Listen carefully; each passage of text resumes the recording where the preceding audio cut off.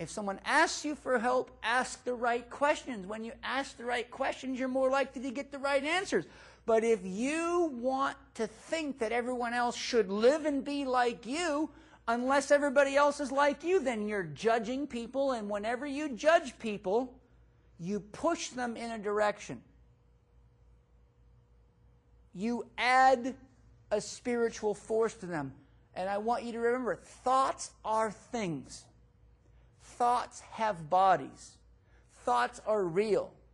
If you look at somebody walking across the street and say, What a fat pig, then you have created a thought body of them as a fat pig, and that enters their energy field and it's in yours too.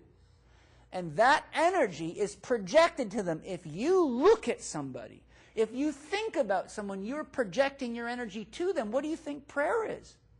If you don't think prayer works, it's time to pull your head out of your fourth point of contact and look at all the scientific research. Read the work of Larry Dossey. What's the difference between prayer and saying, what a fat pig? One's a negative prayer, and oh, that poor person, they need metabolic typing. There's a positive prayer. What's the difference? They're both energy projections, aren't they? Okay?